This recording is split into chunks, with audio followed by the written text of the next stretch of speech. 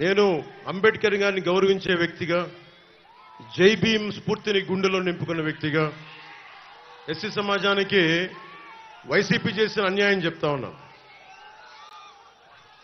Educate agitate organise అన్న అంబేద్కర్ చెప్తే అలాంటి దళితులకి విద్యనందించే పథకాలని ఇరవై మూడు పథకాలని జగన్ తీసేశారు. నాలుగు వ- నాలుగు వేల నూట అరవై మూడు కోట్ల రూపాయలు ఎలొకేట్ చేస్తే వాటిని డైవర్ట్ చేసేశాడు మొత్తం చాలా మంది ఎస్సీ మేధావులు అందరూ కూర్చొని కోర్టులో రిట్ పిటిషన్ వేస్తే కోర్టు ఆర్డర్ చేస్తుంది నాలుగు వేల నూట అరవై మూడు కోట్ల రూపాయలు తిరిగి వెనక్కి ఇవ్వమంటే ఈ రోజు దాకా జగన్ ప్రభుత్వం అది ఇవ్వలేదు. అలాగే ఏ ఫ్యూడలిస్టిక్ ఇంపీరియలిస్టిక్ ప్రభుత్వాన్ని అధికారుల్ని యంత్రాంగాన్ని రాజకీయ నాయకుల్ని కాదని అంబేద్కర్ గారు చేశారు దానికి తూట్లు పడుస్తూ ఉన్నాడు జగన్. మీరు ఆలోచించుకోండి మీ ఓట్లు.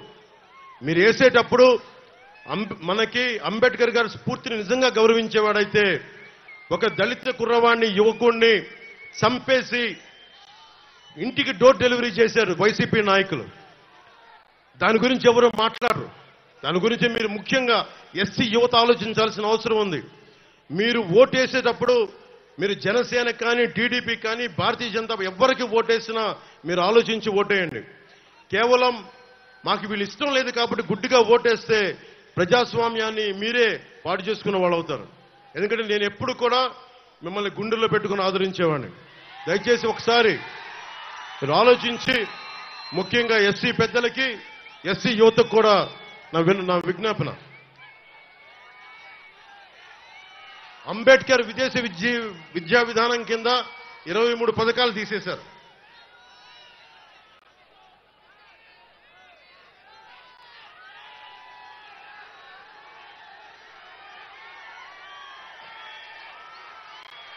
అలాగే బీసీ కుటుంబ కులాలకు సంబంధించి జగన్ రెండు వేల పంతొమ్మిదిలో చెప్పింది నూట యాభై మూడు కులాలను గుర్తించాం నూట ముప్పై తొమ్మిది మంది నూట ముప్పై తొమ్మిది కులాల తాలూకు కార్పొరేషన్ ఏర్పాటు చేస్తామని చెప్పి యాభై ఆరు కార్పొరేషన్ ఏర్పాటు చేసి ఈ రోజుకి వాళ్ళకి కావాల్సిన వాళ్ళకి వాటికి ఇవ్వాల్సిన నిధులు ఇవ్వలేదు.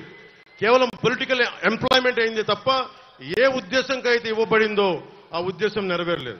ఇది కూడా బీసీ కులాల సమూహం మీరు ఆలోచించాలి. దాదాపు రెండు కోట్ల పద్నాలుగు లక్షల బీసీ పాపులేషన్ ఉన్నారు. నలభై నాలుగు లక్షల మందికే ముఖ్యంగా ఐదారు కాస్ట్లకే వాళ్ళు ఇచ్చారు. ఇంకా వన్ పాయింట్ కోటి డెబ్బై లక్షల మందికి ఏ పథకాలు అందలేదు. ఇరవై ఆరు వేల మంది బీసీల మీద అక్రమ కేసులు పెంచారు. మన బాపట్ల నియోజకవర్గంలోనే చాలా కలి కదిలించే సంఘటన పదిహేనేళ్ళ అమర్నాథ్ని వాళ్ళ పదిహేడు లక్కలు ఏడిపిస్తా ఉంటే రోడ్డు మన ఎదిరించాడని చెప్పి చెరుకు తోటలో తీసుకెళ్ళి మనకి పెట్రోల్ వేసి కాల్ చేశారు. ఈ రోజున జగన్ రాయి పడింది రాయి పడింది. జగన్కి గాయమైతే రాష్ట్రానికి గాయమైందని మాట్లాడేవాడు మాట్లాడుతూ ఉన్నారు. పదిహేనేళ్ళ అమర్నాథ్ పదిహేనేళ్ళ అమర్నాథ్. అడ్డంగా కాల్ చేస్తే పదిహేనేళ్ళ అమర్నాథ్. పదిహేనేళ్ళ అమర్నాథ్. నిర్దాక్షణమైన పసిబిడ్డ చెరుకు తోటలో తీసుకెళ్ళి కాల్ చేస్తే రాష్ట్రానికి గాయం అవలా. రాష్ట్రానికి గాయం అవలా.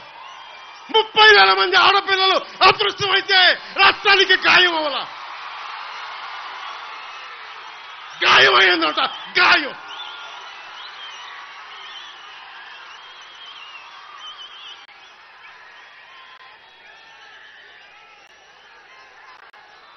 ముప్పై నాలుగు శాతం ఉన్న బీసీల రిజర్వేషన్లని ఇరవై నాలుగు శాతానికి తగ్గించి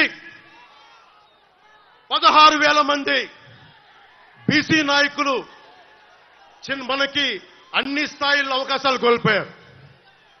నేను ఎనిమిది మందికి ఎంపీలకు ఇచ్చాను ఇంతమందికి బీసీలకు ఇచ్చాను కానీ జగన్ చేసిన ద్రోహం అంబేద్కర్ స్ఫూర్తిని విఘాతం కలిగించింది. పదహారు వేల మంది బీసీలకి నువ్వు ముప్పై నాలుగు నుంచి ఇరవై నాలుగు శాతానికి తగ్గించి బీసీలని అధికారం దూరం చేసావు. అది మర్చిపోకండి.